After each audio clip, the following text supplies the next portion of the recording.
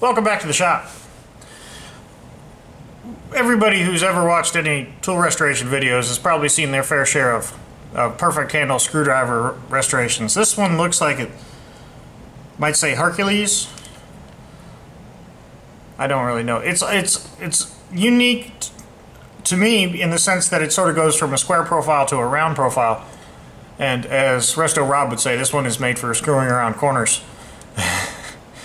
It's got quite a bend in there. Straightening the bend out, I, am hoping, is not going to be too big of a challenge. And the scales on this are not, they're not wobbly. They're tight. However, they don't look very good. And I think that, you know, Scout Crafter brought up a good point about, you know, the dissimilarities between wood and metal are, are many.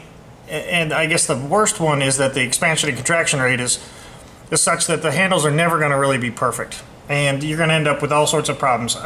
I have done my fair share of, of screwdriver restorations. Some this was I used quite a bit. I put new scales on this. That's held up fine. This is a a perfect handle tire spoon or pry bar. This has been on there for better part of a I would say a year and a half.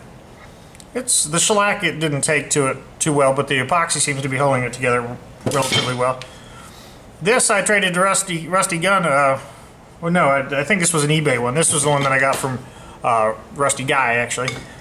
And this one I couldn't have just one, so I bought another one on eBay. And this was pretty chowdered up, so I just epoxied the handle. And, you know, just the same, the epoxy is outstanding material these days. So, And I left this one patina and all. I just thought it was interesting. So, and while I've got examples, let's go with some extreme stuff. This is a pretty big auto wrench, and you can see that handle is busted clean off of there. And that thing is, you know, this is this is monstrous. Just to give you a comparison, it's uh, you know, this is a 12-inch square from outside to outside. So, you know, we're looking at almost a two-foot, a two-foot-long auto wrench. That'll be a different day, but going back to the, the, the differences between wood and metal, I I thought that it would be interesting to see how Delrin would hold up or some non-wood material as a handle. And this, it happens to be one inch wide and so does this stick of Delrin that I have here.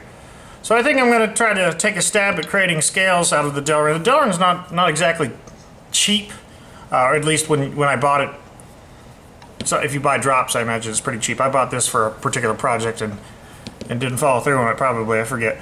But what I'm going to do now is pry the handles off of here, try to use those as a template as best I can, and then proceed to cut this down and file fit this, and it's going to take forever. It's not going to be easy. How they fit these is it's trial and error. I, by the end of this, if I don't use this whole stick up, I'll be happy with myself. So let me go ahead and try to do that, and I'll give you some snippets along the way.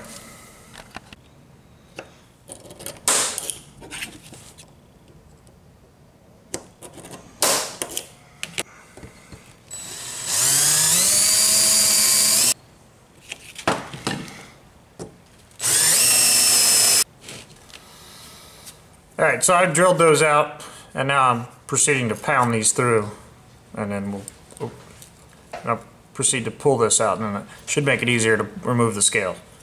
I struggled a little bit with that one because I didn't quite center drill this second pin and it doesn't really matter because I got I think what I need out of it. I, I doubt this will be of any real great help to me but but I figured I'd try so I'm going to pound the second side out of this and and you can see that if if I wanted to, you know, quote unquote restore this, it and leave the scales on it, it would never, you know, truly be right because you wouldn't be able to get in there to take out all that rust.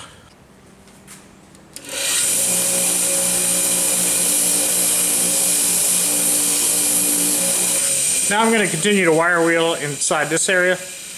I'm not going to be too concerned about wire wheeling this because that's going to have to get hit with the belt sander. So there's, you know, it's sort of a a redundant effort if you're gonna go hit this with the belt sander.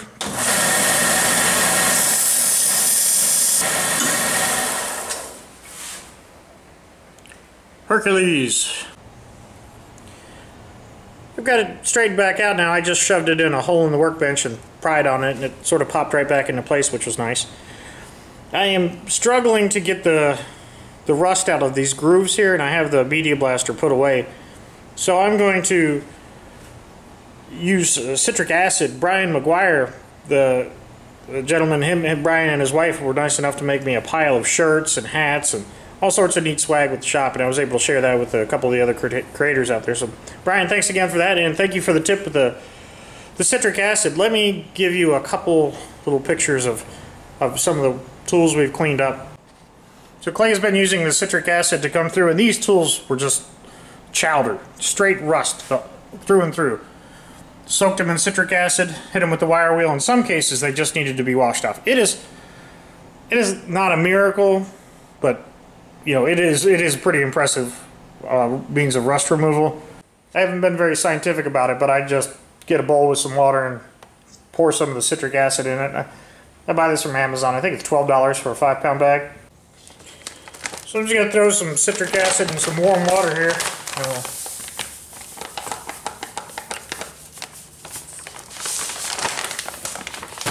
It's very interesting because yeah, I don't know anything about it, but on the bag it says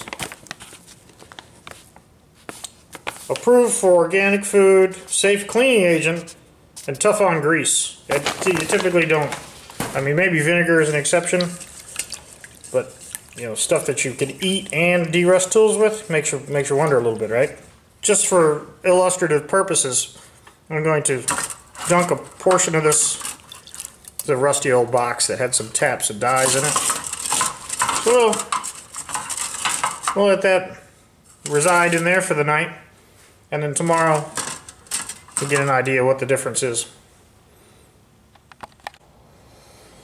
Alright, we're back about 20 hours later. And this is the that box.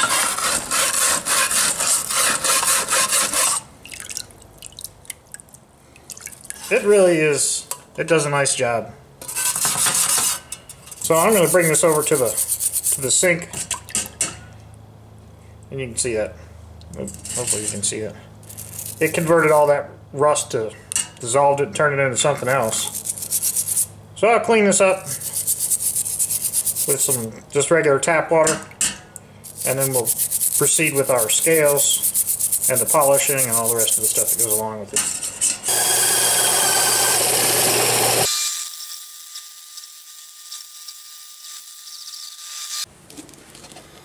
So there, there's some minor hollow spots in there, but I had sanded this down in there. The the surfaces are are more than flat enough for a for a screwdriver handle. And then the, you know I think it's going to get finished out quite a bit differently than it looks here in terms of the profile and depth and whatnot. And you can see one side is quite a bit deeper than the other. Uh, that's a function of me not cutting it straight and two having to sand it further. But but I still think that we'll be Probably, probably good enough. But I'm betting I'll mess these up and we'll do this all over again. Now there's no, I have no intellectual shortcut for you on how to make scales other than trial and error. The only thing that I think I can say is that do not mix up both sides because these are not symmetrical. They look symmetrical, however they are not. If I, this side fits relatively well there, however it doesn't fit at all on this side and it, it is not evident to my eye that, that these wouldn't be interchangeable. So be careful, try to try to keep track of what side is what. Otherwise, you, you could end up making two of the same sides, which would be a waste.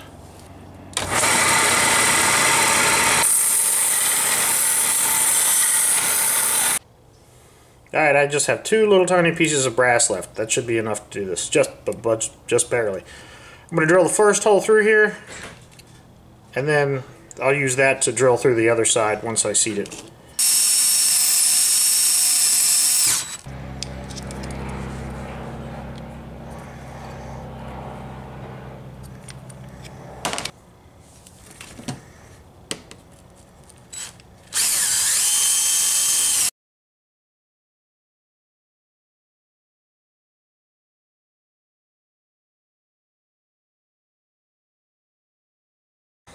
So so I just wasn't even thinking. I should have I should have put down all sorts of cloths and and like cafeteria trays or something to keep that epoxy off the bench. I just I'm so, I get so single-minded sometimes. anyway, So I've got the Delrin hand grips clamped in with this cant twist and then also being held in place with a vise.